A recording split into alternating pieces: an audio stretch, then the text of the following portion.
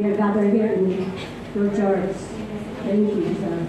Thank you, Pastor Ben, for always planting seeds in our hearts. Ama namin sa langit, salamat sapagkat kayo ay Diyos na tumatangkilik, nagmamahal, naggagabay, nagtutuwi, naglilinis, nagpapaliwanag sa isip. Pinupuri ka namin, Panginoon Jesus, sa kadakilaan sa aming pag-ibig. Kinailangan higit sa lahat pa. Salamat sa araw-araw. Maari lalapasin namin, lalapsapin ang iyong pag-ibig. Daluyan ang pagpapala tungkol sa aming kapwa na patuloy ang paglapit sa iyong Panginoon.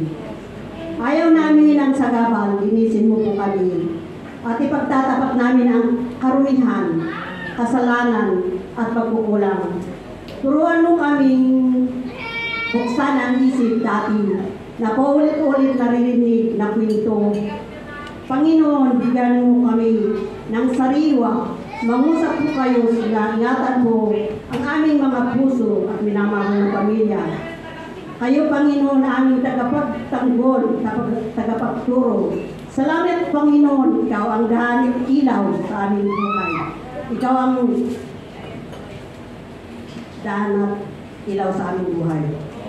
Sa pag-alis namin sa espasyong ito, at, gab- at gabayanan mo ang bawat isa sa amin. Salamat, Panginoon. Ito po ang aming dalangin sa iyo. Ang pinakamataas na papuri, pag, pagsamba at kalwat-